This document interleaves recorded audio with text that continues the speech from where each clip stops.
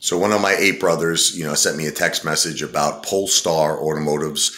This is going to be like the next Tesla. They're saying, you know, it just came public.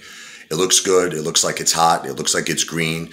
Um, I'm considering it. I am. I'm considering getting a position. But what what the thing is with me, and I just want to be honest with everybody, is that I'm really in a transitional period right now where I'm switching to real estate investing. So right now I'm trying to put together like a lot of money.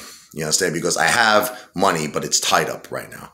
I have money that's tied up in my house, probably a quarter of a million, a little actually closer to 300,000 is tied up in my house in equity. I have, you know, a good amount over 200,000 in gold and silver.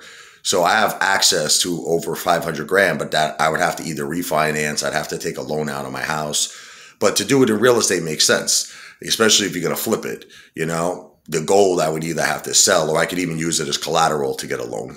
I could I could raise about 200k from the gold, but I, I'm very hesitant look, I mean, the, the stocks that I have right now, which are Tesla, um, Amazon, Unex, UXIN, whatever you want to call that thing. I don't even know how to pronounce it. Un, Unin, whatever. Maybe that's how you pronounce it. Unin, UXIN, obviously AMC, obviously GameStop.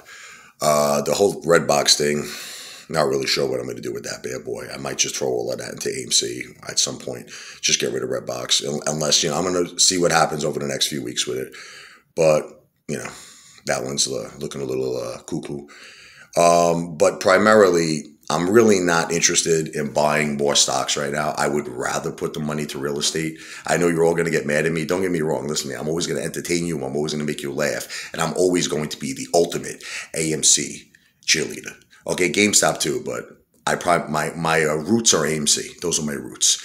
And those are my big shares that I have. Okay, but the thing is, putting more money into the market, I'm a little hesitant because I'm, like I said, it does look good, and I'm considering it. This uh, Polestar looks really tasty and tempting, but like I said, I kind of made a decision, and when I make a decision, I like to stick to it.